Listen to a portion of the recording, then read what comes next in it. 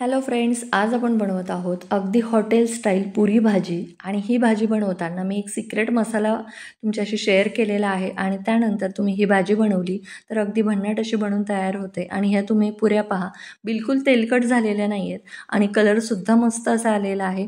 आणि खूप जास्त वेळ अगदी फुगलेल्या मस्त अशा राहतात. सगळ्या पुऱ्या अगदी टम्म अशा फुगतात. त्यामुळे तुम्ही व्हिडिओ शेवटपर्यंत पहा. नक्कीच तुमची पुरी भाजी अगदी हॉटेल स्टाईल बनवून तयार होईल. आणि अगदी खुसखुशीत पुऱ्या तयार होतात. तर आता आपण सुरुवातीला पुऱ्या बनवण्याची तयारी करत आहोत. तर इथे मी अर्धा कप मैदा घेतलेला आहे आणि एक कप मी अगदी दाबून भरलेलं गव्हाचं पीठ घेतलेलं आहे. तर तुम्ही मैदा न वापरला नाही वापरला तरीही चालेल. कारण की हॉ इथे आपण हॉटेल स्टाईल बनवतो आहे तेव्हा हॉटेलच्या जेव्हा पुऱ्या बनवल्या जातात त्यामध्ये मैद्याचं प्रमाण असतं. आता यामध्येच आपल्याला दोन चमचे बेसन पीठ टाकून घ्यायचं आहे. त्यामुळे आपल्या पुऱ्या खूप खुसखुशीत अशा बनून तयार होतात. आता इथे चवीनुसार मीठ टाकलेलं आहे आणि पुऱ्यांना छान कलर यावा म्हणून यामध्ये थोडीशी आपल्याला पिठी साखर टाकून घ्यायची आहे. त्यामुळे आपल्या पुऱ्यांना कलर छान येईल पिठी साखरेमुळे. आता हे सगळी पिठं आपल्याला व्यवस्थित अशी मिक्स करून घ्यायची आहेत. आता यामध्ये अगदी कडकडीत मोहन द्यायचं आहे. दोन चमचे तेल घेतलेलं आहे आणि अगदी कडकडीत मोहन याचा आपल्याला या पिठाला देऊन घ्यायचं आहे. आता सुरुवातीला चमच्याने व्यवस्थित असं आपल्याला हे मिक्स करून घ्यायचं आहे. तेल गरम आहे त्यामुळे चमच्याने मिक्स करायचं आहे. आणि त्यानंतर तुम्ही व्यवस्थित हाताने मिक्स केलं तरीही चालेल. त्यानंतर इथे मी अर्धा कप पाणी घेतलेलं आहे. आता हे पाणी या भांड्यामध्ये मी ओतून घेतलेलं आहे ज्यामध्ये मी तेल गरम केलं होतं. त्यामध्ये मी ओतून घेतलं म्हणजे हे पाणी थोडंसं कोमट पण होईल आणि त्याला भांड्याला लागलेलं तेलसुद्धा पीठ मळताना वापरात येईल. आता आपल्याला अगदी व्यवस्थित असं हे मिक्स करून घ्यायचं आहे आणि पीठ आपल्याला अगदी छान असं मळून घ्यायचं आहे घट्टसर. एवढं पीठ मळायला मला अर्धा कप बरोबर असं पाणी लागलेलं आहे. पीठ छान घट्टसरच मळायचं आहे. आता पीठ छान इथं मळून झाल्यानंतर थोडंसं तेलाचा हात लावून आपल्याला हे पीठ छान पंधरा ते वीस मिनिटांसाठी आपल्याला झाकून ठेवायचं आहे. म्हणजे आपलं पीठ जे आहे ते छान असं इथे भिजलं जाईल. आणि पीठ भिजत आहे तोपर्यंत आपण इथे भाजी बनवून घेणार आहोत. त्यासाठी आपल्याला लागणार आहेत तीन मध्यम आकाराचे उकडलेले बटाटे तर इथे मी बटाटे उकडून छान साल काढून घेतलेले आहेत आणि अशा प्रकारे आपल्याला हातावर अगदी हलक्या हाताने ते कुस्करून घ्यायचे आहेत. अगदी त्याच्या छान मोठ्या मोठ्या अशा फोडी राहिल्या पाहिजे आणि काही बारीकसुद्धा झाल्या पाहिजे अशा प्रकारे आपल्याला कुस्करून घ्यायचं आहे. तर आता आपण सिक्रेट मसाला बनवत आहोत भाजी बनवण्यासाठी. तर पॅन घेतलेला आहे त्यामध्ये अर्धा चमचा जिरं घेतलेलं आहे दोन चमचे धणे घेतलेले आहेत अर्धा चमचा बडीशोप घेतलेली आहे आणि चार मिरच्या घेतलेल्या आहेत. तर दोन मिरच्या मी कलरसाठी घेतलेल्या आहेत कश्मीरी लाल मिरच्या आणि ह्या दोन मिरच्या नॉर्मल आपल्या ज्या आपण निर मिरच्या वापरतो त्या घेतलेल्या आहेत. तर अशा प्रकारे हा जो मसाला आहे तो लो गॅसवर साधारण आपल्याला छान असा सुवास येईपर्यंत भाजून घ्यायचा आहे. साधारण एक मिनिट मी इथे भाजून घेतला. त्यापेक्षा जास्त भाजायचा नाही. फक्त याचा छान सुवास यायला पाहिजे आणि गॅस बंद केल्यानंतर यामध्ये आपल्याला एक चमचा कसुरी मेथी टाकून घ्यायची आहे. आणि कसुरी मेथी आपल्याला गॅस बंद केल्यानंतरच टाकायची आहे. कारण की ती आपल्याला अगदी हलकी अशी गरम करून घ्यायची आहे. कारण की कसुरी मेथी जर का जळाली तर त्याचा कडसर वास येतो किंवा चव कडसर लागते. त्यामुळे कसुरी मेथी बिलकुल आपल्याला जळू द्यायची नाही आहे त्यानंतर हा मसाला मी थंड करून घेतला आणि छान मिक्सरमध्ये जाडसर असा वाटून घेतला. तुम्ही खलबत्त्यामध्ये थोडासा जाडसर वाप वाटला तरीही चालेल. पहा अशा प्रकारे हा जाडसर असा ठेवायचा आहे या पद्धतीने. आता त्याच पॅनमध्ये आपण भाजी बनवायला घेऊया. त्यामध्ये थोडीशी कोथिंबीर टाकली. आणि दोन चमचा यामध्ये मी तेल टाकून घेतलेलं आहे. तर अशा प्रकारे कोथिंबीर टाकली की भाजीला छान अशी चव येते. त्यामध्ये अर्धा चमचा मी मोहरी टाकून घेतलेली आहे. आता एक चमचा यामध्ये आपल्याला जिरं टाकून घ्यायचं आहे. दोन हिरवी मिरची मी घेतलेली आहे. ज्याला मी मध्ये कट देऊन घेतलेला आहे. थोडासा हिंग टाकूया. हिंगामुळे भाजीला छान अशी चव येते. आणि आता हे व्यवस्थित अगदी लो गॅसवर आपल्याला हे परतून घ्यायचं आहे. त्यानंतर यामध्ये मी एक मोठा आकाराचा कांदा इथे बारीक चिरून घेतलेला आहे. तो आपल्याला यामध्ये टाकून घ्यायचा आहे आणि कांदा छान आपल्याला गुलाबी रंग होईपर्यंत परतून घ्यायचा आहे. तर आता कांदा तर इथे परततच आहे. त्यानंतर आपल्याला यामध्ये एक चमचा आलं आणि लसणाची पेस्ट टाकून घ्यायची आहे. आलं लसूण पेस्टसुद्धा आपल्याला छान यामध्ये परतून घ्यायची आहे.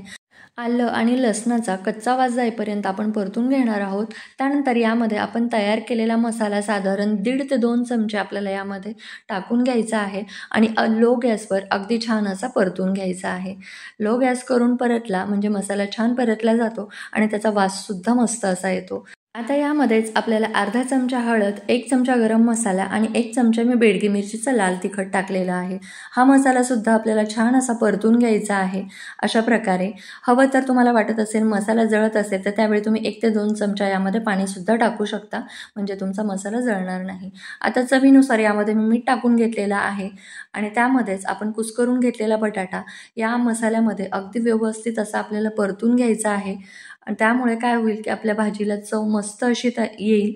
तर मसाले परतते वेळी आपल्याला गॅस कमी ठेवायचा आहे आणि जेव्हा आपण बटाटं परतो त्यावेळीसुद्धा आपल्याला गॅस जो आहे तो अगदी लो ठेवायचा आहे. त्यानंतर यावर मी थोडीशी कोथिंबीर टाकून घेतली आणि त्यानंतर पुन्हा एकदा व्यवस्थित असं मिक्स केलं. आता हे व्यवस्थित परतलं गेलेलं आहे. आता यामध्ये अगदी उकळतं पाणी आपल्याला टाकून घ्यायचं आहे.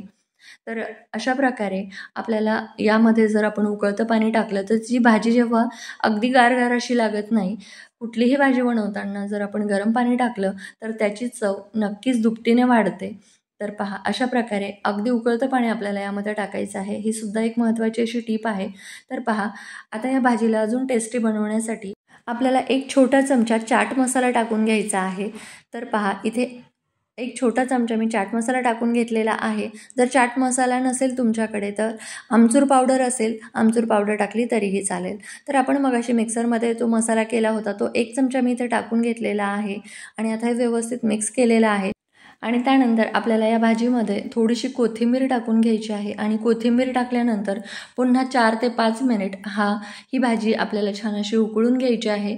अगदी लो गॅसवर त्यामुळे भाजीला खूप छान चव येते. तर पहा ही भाजी आपली इथे बनवून तयार झालेली आहे.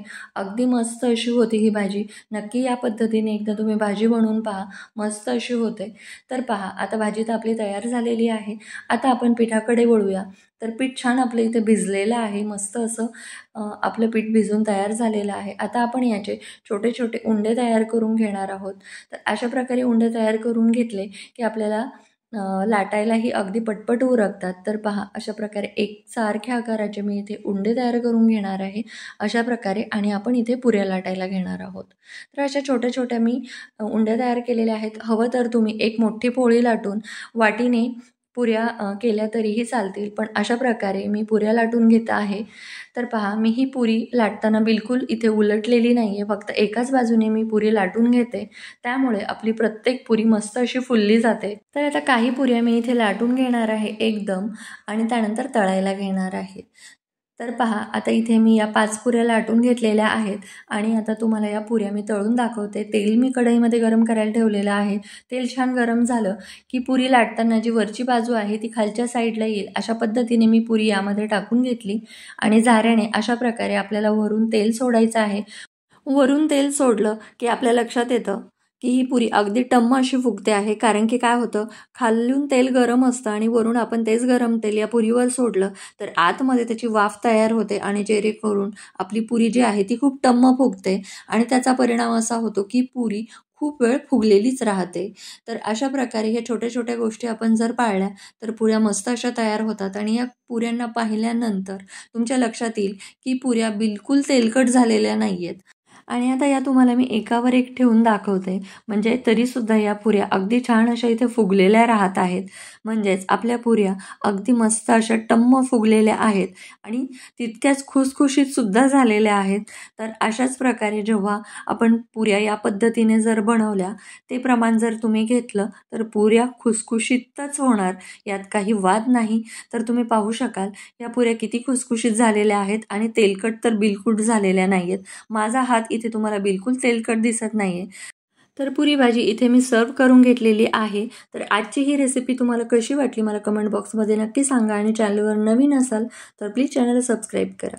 व्हिडिओ पाहिल्याबद्दल खूप खूप धन्यवाद.